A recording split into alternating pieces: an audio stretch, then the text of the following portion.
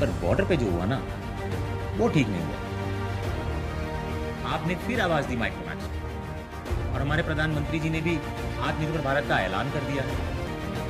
मुझे लगता है ज़िंदगी ने एक बार फिर वही लाकर खड़ा कर दिया जहाँ से सब शुरू किया था।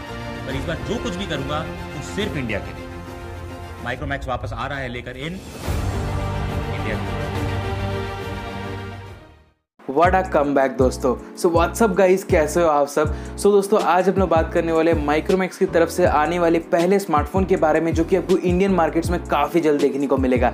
सो so, गाइज़ यहाँ पे गाइज़ काफ़ी अच्छा इंडियन वाली फीलिंग आ रही है और यहाँ पे ये टीजर देखने के बाद तो काफ़ी अच्छा लग रहा है। यहाँ पे गाइज़ आपको शायद याद होगा इंडिया में Micromax one of the best brand बन चुका था स्मार्टफ़ोन की इंडस्ट्री के लिए अगर बात करें। और यहाँ पे स्मार्टफ़ोन मार्केट्स को हिलाकर रख दिया था। और गाइज़ यहाँ पे ऐसा भी टाइम आया था कि ऐसा लग रहा था कि मार्केट से यहाँ पे माइक्रोमैक्स गायब ही हो गया है। लेकिन गाइज़ यहाँ पे माइक्रोमैक्स फिर से रेडी है, वही हिस्ट्री को रिपीट करने के लिए और यहाँ पे आपको काफ़ी सारे स्मार्टफोन्स देखने को मिलेंगे। ऐसी न्यूज़ आ रही है, वो सात हज़ार से लेकर पंद्रह हज़ार रुपए के प्राइस रेंज के अंदर ये स्मार्टफोन्स देखने को मिलेंगे, जो कि आएगा माइक्रोमैक्स के नए सब ब्रांड आयन के अंदर, जो कि इस टीजर वीडियो देखने के बाद आपको पता लग गया होगा। और यहाँ पे कल ऐसी भी रिपोर्ट्स आई है कि आपको देखने को मिलेगा बीस से पच्चीस रेंज का भी स्मार्टफ़ोन इसी माइक्रोमैक्स ब्रांडिंग के अंदर। और गाइज़ ये कंपीट करेगा यहाँ पे वन प्लस और सैमसंग के डिवाइसेस से।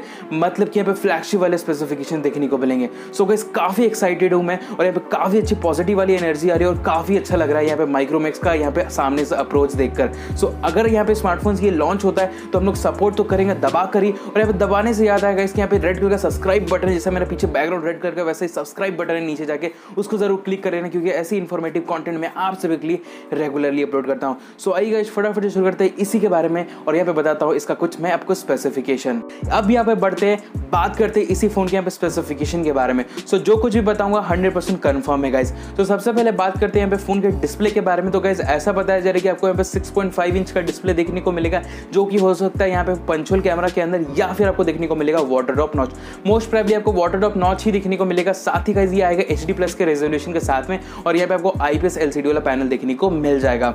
अब यहाँ पे डिज़ाइन के बारे में बात करेंगे तो गाइज़ यहाँ पे वो पॉलीकार्बोनेट वाली बॉडी देखने को मिलेगी और यहाँ पे पीछे की तरफ़ आपको डुअल कैमरा सेटअप देखने को मिलेगा। और ये बजट कैटेगरी वाला स्मार्टफ़ोन है तो गाइज़ आपको ऐसा यहाँ पे डिज़ाइन और यहाँ पे डिस्प्ले देखने को मिल जाएगा।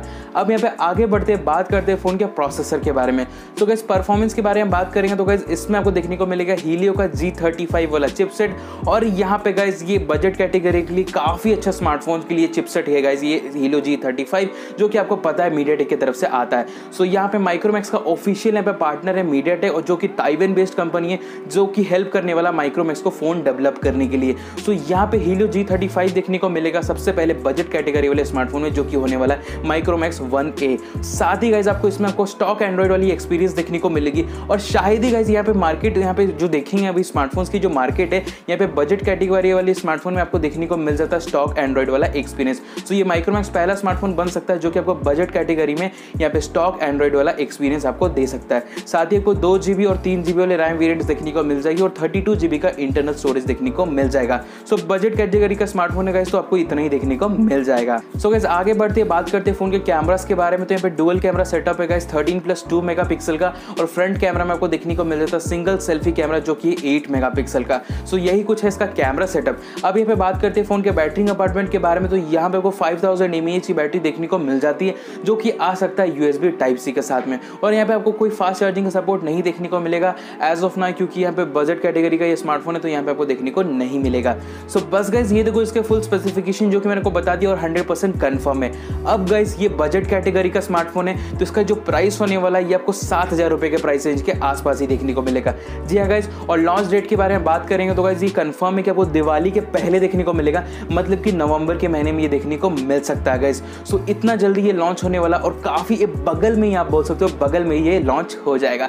सो बस गाइज़ आज की इस वीडियो बस इतना अगर वीडियो पसंद है, ज़रूर लाइक कर लेना और अभी तक चैनल को सब्सक्राइब नहीं किया तो गैस कर क्या रहो चैनल को सब्सक्राइब कर लो, क्योंकि ऐसी इंटरेस्टिंग वीडियोस मैं आप सभी के लिए रेगुलरली अपलोड करता हूँ। सो गैस मिलता है हमारे next video take care good bye